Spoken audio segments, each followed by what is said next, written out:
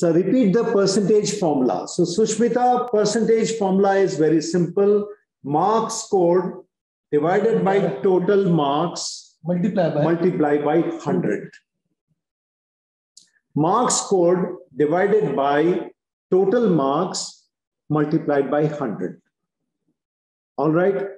I am not confusing you, but you may not write 100 also and use a, from the ribbon, you can use a percentage tab over here. Okay, I'll show you that.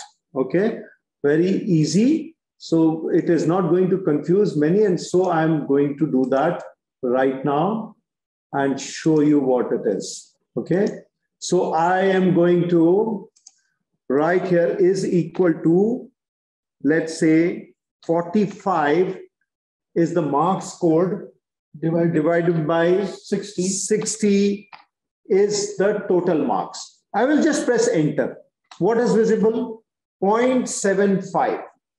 The people who understand good mathematics, they also understand that 0.75 is 75%.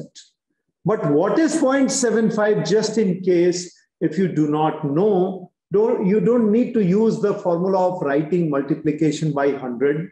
If you get this result, go to the ribbon and ribbon it right in the middle of the ribbon below the general. If you see this area below the general, there is a percentage sign. When you click that percentage sign, before that you need to show the active cell.